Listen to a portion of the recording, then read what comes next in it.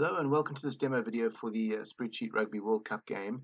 Um, now we don't normally make demo videos for free downloads, but we did for this one just because we wanted to uh, explain how it works. Um, this is actually the video for version 2.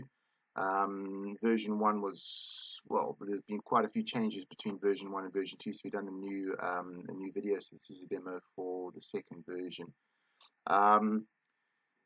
Let's start at the beginning. The first page is the setup page. This is the, you can see if I click over there, it's actually a black tab. The black tab is the first one that you set up at the beginning of the season.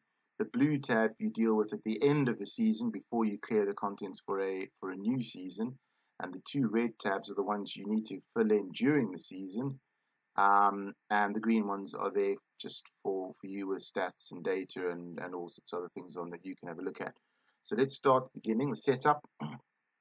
what you do is you first put in any players. Now you can have up to eight human players. I'll put my name in there.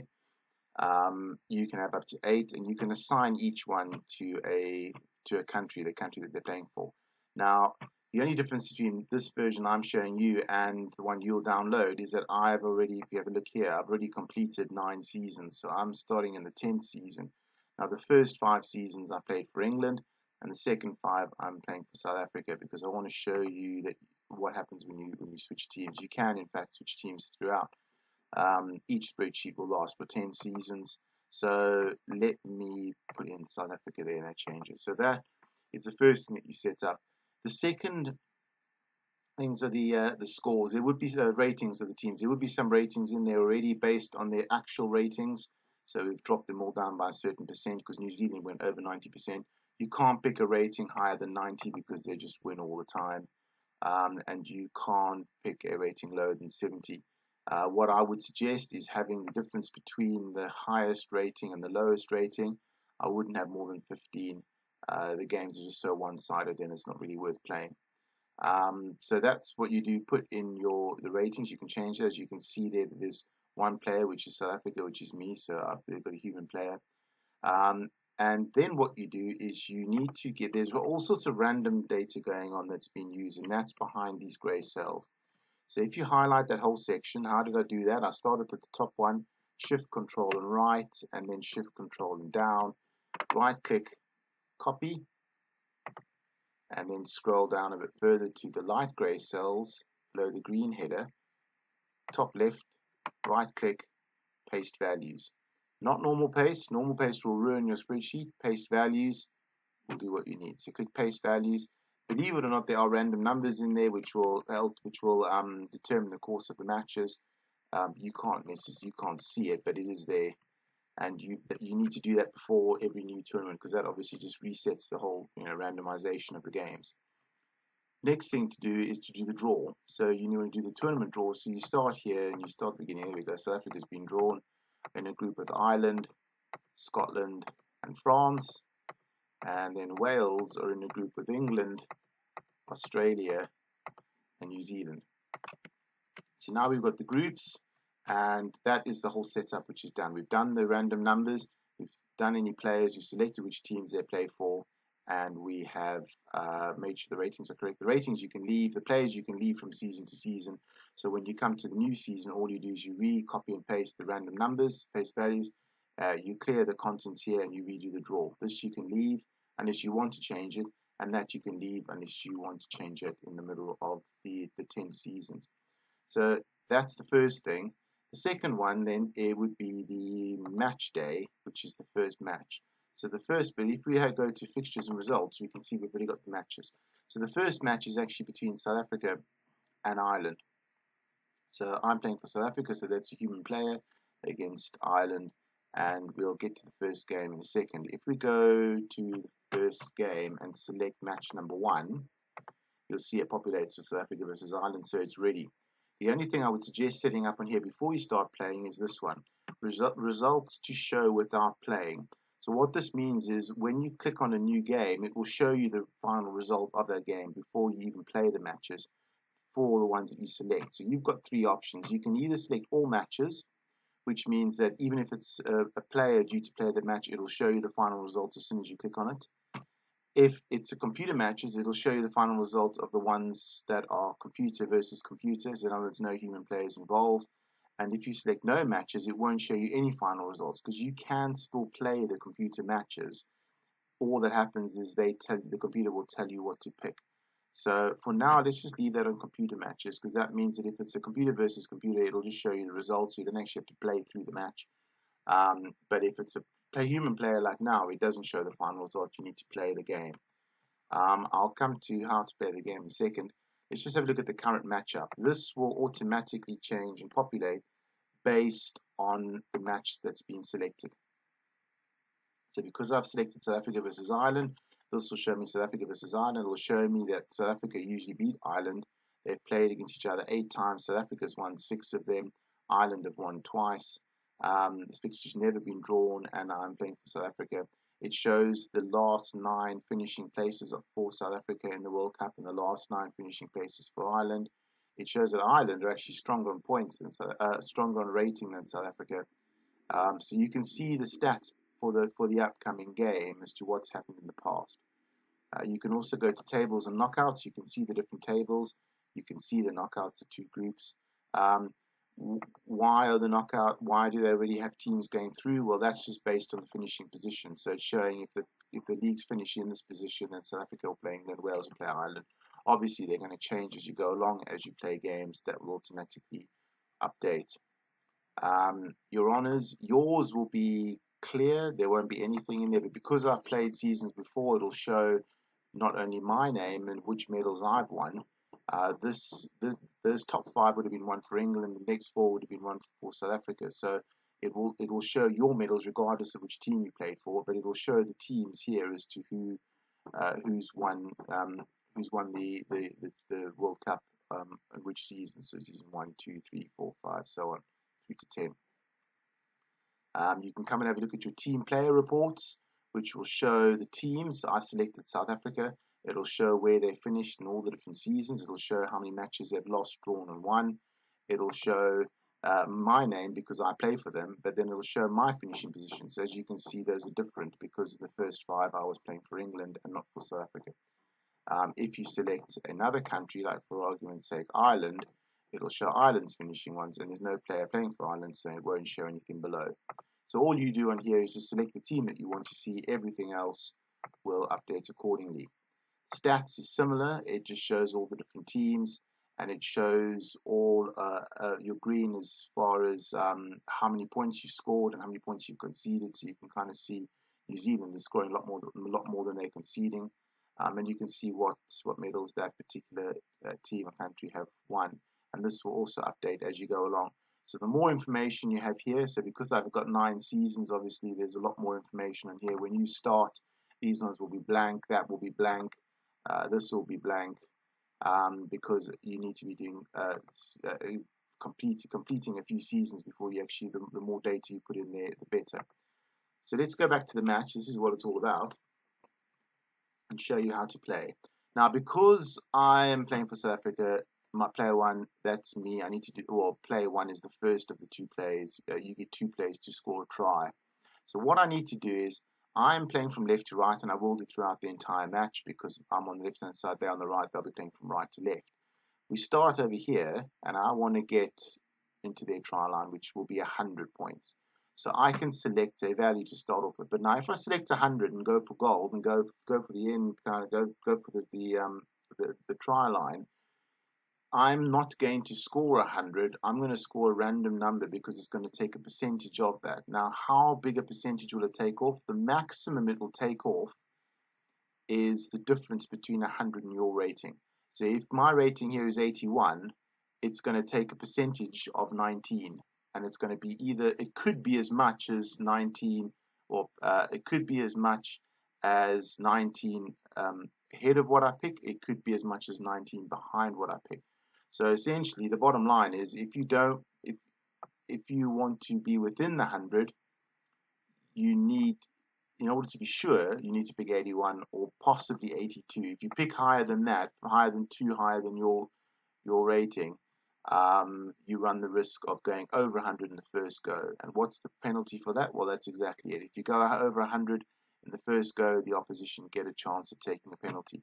So what I'll do is I'll start off somewhat attacking, but fairly conservatively. Let's go for 85. and that's what it says. It says I've moved forward 86.7 and I've got 13 to go. So I've got a second one. So let me go for the second one and let me pick 12. And that says I finished within the within the try line. What you need to do is finish. You need to get a total here of um, between 98.5 and 100. So you got 1.5 to play with, 98.5 and 100, and that means that you finish in the try zone, which means that you could score a try. Now the reason why I haven't scored a try is because Ireland's defence is defended, and that's all. That's all based on the strength of the team and some random numbers, and it's all hidden. So I haven't scored a try. And now it's Ireland's turn for their first play. So now because I need to play for the computer, they'll tell me what to pick. So they tell me to pick 87, which I pick, and they've got 21 to go. And then they, I click on here and I drop down this, and they tell me they want to pick 21. So I pick 21, and they get it in, and they actually score a try because my defense was rubbish. So they've scored a try. Now they're going to go for a kick.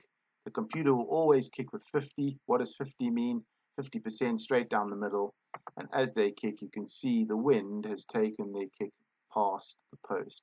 So how do you make sure you get it on the post? Let's just go back. You can see the wind is blowing this way because the arrows are facing down. If it were the other side, the arrows might be facing up or down, but the, because it's facing down, it means the wind's going to drag it that way. So what would you do normally? Well, from the bottom up, 50s in the middle, 40s down below, 50s up at the top. You you can normally in a conversion or penalty select between 40 and 60. So 60 will be at the top, 40 at the bottom. This way around will be the other way around, 40 at the top, 60 at the bottom because it goes from left to right as you would view it as the kicker. Um, so really, the, with the winds blowing this way, you would want to aim for that post, which would be at 55, and the wind would the wind would then drag it down and you'd get it over. But the computer always goes down the middle, so that would mean Ireland's missed their, their chance. So now it's my chance to attack again, and I can choose any value. I can go for 100. Let's just see what happens if I go for 100. You go for 100, actually that was perfect because now I'm two below. So the second time I go for 1, and I get the end zone, and there we go, try for me. Now I get to take a kick, and the wind's blowing that way, so I want to aim for the bottom post. Now that this post here will be 40, 45, 50, 55, 60. So I want to go for 55.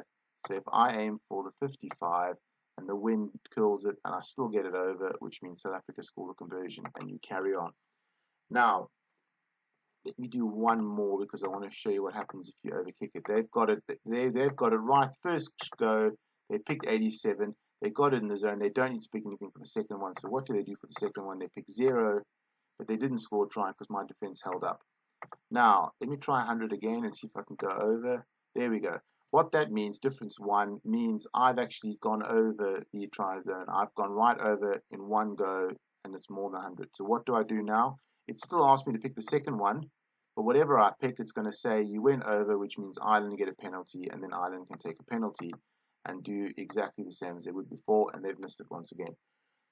So that's how the game works. What you need to do is get these two as close as possible within between 98.5 and 100 to get to the try zone. And the more often you do that, the more often you will have a chance of scoring a try. Once you complete right down to the bottom, the final score will show and it will show you underneath here what success rate you had. So how what percentage of the times did you actually get the ball into the, the try zone in other words, uh, how, how successful were your attempts regardless of, of the score.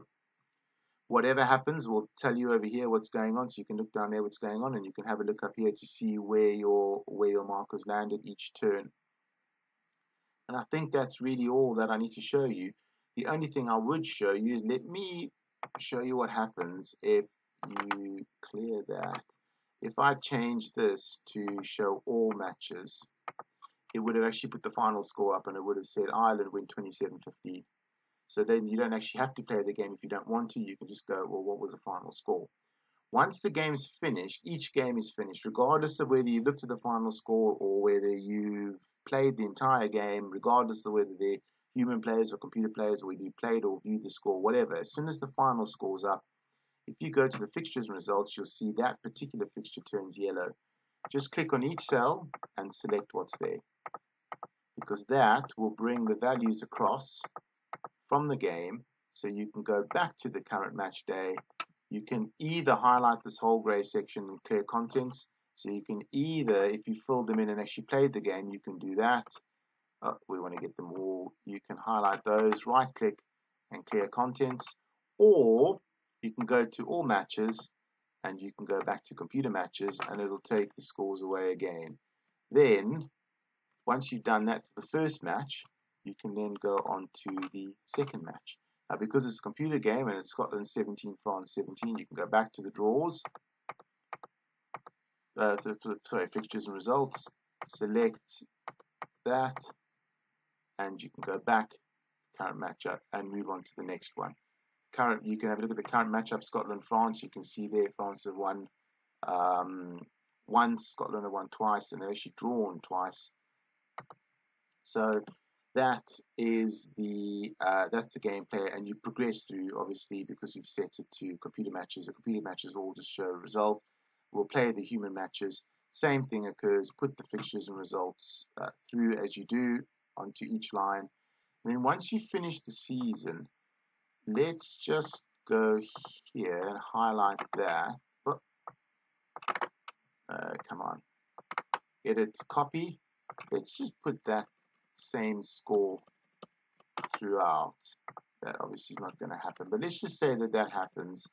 Um, and you go at the end of the season. So you filled up all of these, you played the final, the final's been won. What do you do now? You come to the, the data, season data transfer at the end of the season. You highlight this block of dark gray. You right click, copy. You go to the next season, which you need to fill in. You obviously started season one, but I've gone on to season 10 season, uh, that should be season 10. Right click, paste values into season 10, and I'm done now with that, which means that what you can do then is you can come here. Once you've done that copy and paste, you can come back to your fixtures at the end of the season. You can right click, you can clear those contents.